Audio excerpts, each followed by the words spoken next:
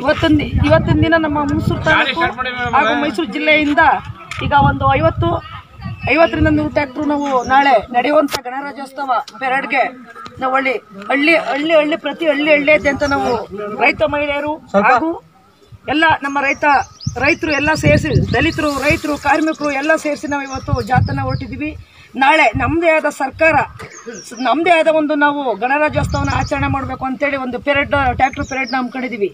ಈ ಏನು ಇವತ್ತು ಟ್ರ್ಯಾಕ್ಟರ್ ಪೆರೇಡ್ ಹಮ್ಮಿಕೋಬೇಕಾದ ಕಾರಣ ಅಂದರೆ ಐವತ್ತು ದಿನಗಳ, ಐವತ್ತೈವತ್ತೈದು ದಿನಗಳಿಂದ ಸತತವಾಗಿ ನಮ್ಮ ದೆಹಲಿನಲ್ಲಿ ನಡೀತಿರ್ತಕ್ಕಂಥ ರೈತ ಧರಣಿಗೆ ನಾವು ಇವತ್ತು ನಾಳೆ ಬೆಂಬಲವನ್ನು ಸೂಚಿಸೋಕ್ಕೋಸ್ಕರ ಹೊರಡ್ತಾ ಇದೀವಿ. ಏನು ಈ ಮೂರು ಭೂ ಸುಧಾರಣಾ ಕಾಯ್ದೆಗಳನ್ನ, ಭೂ ಸುಧಾರಣಾ ಕಾಯ್ದೆ ಮತ್ತೆ ಎ ಪಿ ಎಂ ಸಿ ಕಾಯ್ದೆ, ವಿದ್ಯುತ್ ಕಾಯ್ದೆ, ಏನು ಈ ಮೂರು ಕಾಯ್ದೆಗಳನ್ನ ಇವತ್ತು ಬಿಜೆಪಿ ಸರ್ಕಾರ ತಂದಿದೆ, ಅದು ವಿರುದ್ಧವಾಗಿ ನಾವಿವತ್ತು ನಾಳೆ ಪೆರೇಡ್ನ ಮಾಡೋಕೆ ಹೋಗ್ತಿದ್ವಿ.